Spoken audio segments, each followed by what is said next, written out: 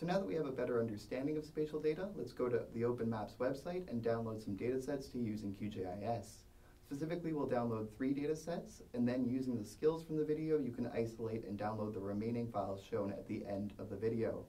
Open Maps is the integrated federal archive for spatial data, making it a one-stop shop for downloading thematically diverse datasets from broad to highly specific content, which should enable most processes or features of interest to be examined. It is important to note that not all datasets are inherently spatial, but most have traits that enable their integration and use in GIS. So to begin searching for datasets, we need to scroll down on the main page and click the Open Maps link. This will bring us to a page with a search bar where we can begin to query specific datasets. The first one we'll look for is transport features released by Natural Resources Canada as part of their CanVec catalog. So the search results appear as such with a hyperlink title to the main dataset page, a description of its content, the organization associated with its release, and the file formats for the differing components of the dataset. At the moment, datasets need to be downloaded individually. The top right of the page are a variety of search filters to help refine the returned results. We'll apply two in finding our dataset right now. So scrolling down to the format filter, we'll check the FGDB box since we are looking for a file geodatabase. And in the organization filter, we'll click on Natural Resources Canada. So we can click on the hyperlink title to bring us to the main page of the dataset. The resource type column indicates the different components of the dataset, such as web services, classification guides, or the main dataset itself, in this case provided in shapefile or file geodatabase format. The uh, file formats of spatial datasets and supporting information are varied between entries. So to access our dataset, we'll just click on the Access tab beside File Geodatabase. And this brings us to the main index page, which hosts all of the datasets. All of them are listed as CanVec, followed by an abbreviation for the scale and the geographic location and all of them are part of the transport series. So national datasets vary in resolution from 1 in 1 million to 1 in 15 million, whereas provincially subset datasets vary in resolution from 1 in 50 to 1 in 250,000. In general, you should use the dataset that matches your intended scale of analysis and visualization, so using the finest resolution dataset for a national examination of transport features or using the coarsest resolution for a local assessment would both be equally inappropriate. We will just download the 1 in 50,000 for Manitoba. Closing up the page, I'd just now like to quickly show you the classification guide. So classification guides contain information to help interpret and use a dataset. In the catalog dropdown, we can select the dataset we downloaded. It's defaulted to 1 in 50,000, so we can just scroll down and find a layer that we'd like to know a bit more information about. And within the table, expanding a particular field we'd like more information on. So within this table, it lists the values found within the attribute table, as well as their corresponding classes and a detailed description of each class. We'll actually use this in a later demo to classify our road segments. So now we can just close up the page and hit back. And the first thing that we'll do is remove the filters we applied earlier so they don't impact our next search results. The next data set that we'll look for is uh, the annual crop inventory. This is a thematic raster released by Agriculture and Agri-Food Canada and a great resource for local assessments of crop variations both spatially and over time within Canada. So scrolling down, we can see each entry associated with a particular year, and then further down, there is one without a designated year. We'll click on this link. Once on the main page, we'll just scroll past all the web mapping services down to the main component of the dataset. We'll download the classification guide to help us interpret the crop classes associated with the different numeric values.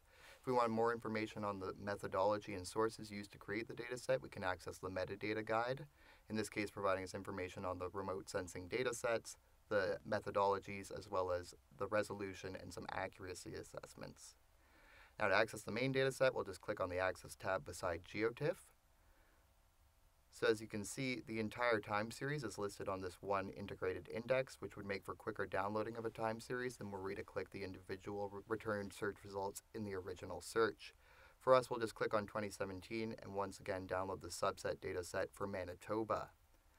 Now the final dataset that we'll look for is the land cover circa 2000 file, so we'll just look up land cover within the search bar and hit search. With 271 records, we'll once again scroll down to our format filter expand it, and in the expanded results, we will select shapefile. Once again, it's our first returned result, so we can just click on the hyperlink title. And on the main page, we'll just scroll down and click on the shapefile dataset. So once again, this is a subset dataset, but less intuitive than the provincially subset datasets we just downloaded. However, it is in the National Topographic System, a common referencing system for federal spatial data. So just look up NTS Index Canada in a new tab and click the Open Canada link to access the reference guide, which will help us isolate the files that correspond with our area of interest. There are a variety of formats we could use to find the files of interest, but for now we'll use the PDF and click on the prairies. So this is how the National Topographic System appears. Each area is referenced by a large number, and zooming in, we can see that they are also subset by specific letters. So if we wanted to download the land cover for Winnipeg, we could download 62, G, H, I, and J. So closing up our reference guide here, we can go back to the main index page for the dataset, scroll to 62, and then select G, H, I, and J.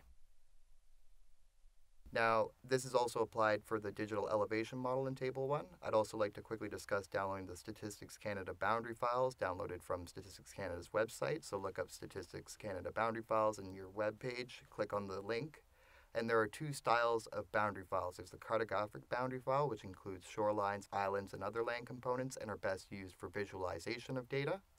And the digital boundary file, in which there is one feature for each corresponding boundary and these are best suited for processing and analysis.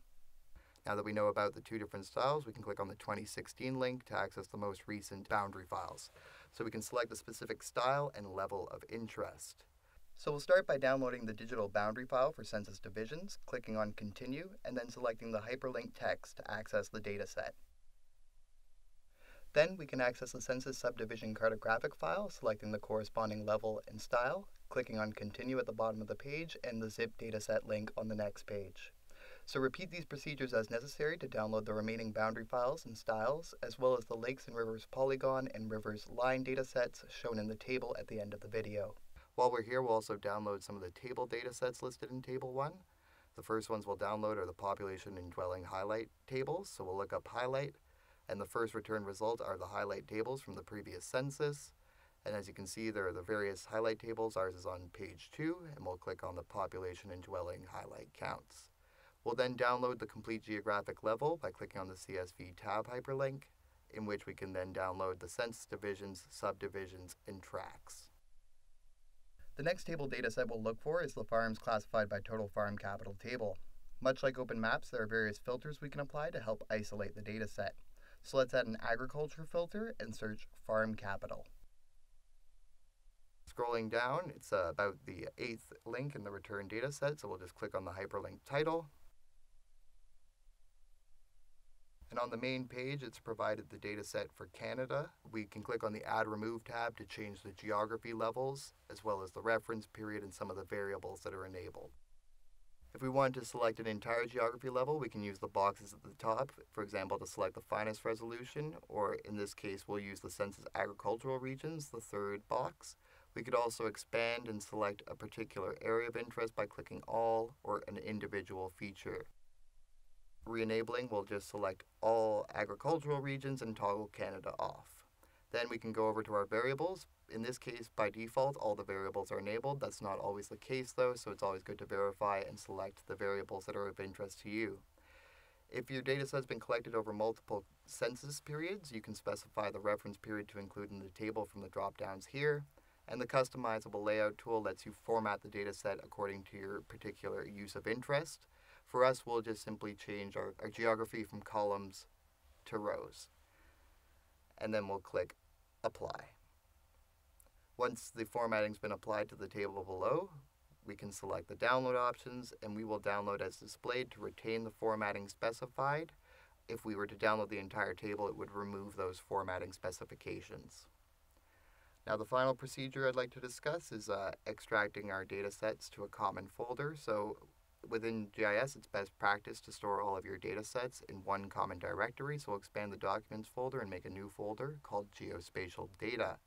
Within the folder, you can use various subdirectories organized by theme or project, however you see fit to help organize your files. We'll just copy that particular file path to repeat our extraction. So as you can see, we can just paste and hit extract to rapidly extract our data sets. So repeat these procedures with the remaining files, and we'll follow up in the next demo loading our data sets into QGIS.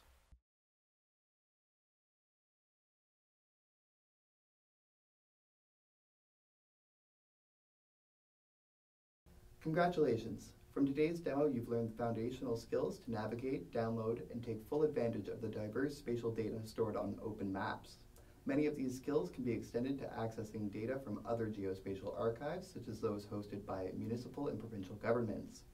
We've also covered the process of extracting and storing datasets in a common directory on your computer with subdirectories to help organize the different datasets. With this experience, you should be able to isolate relevant data and file formats for your own work activities. In the following tutorial, we'll cover the procedures for loading and ordering our spatial data in QGIS.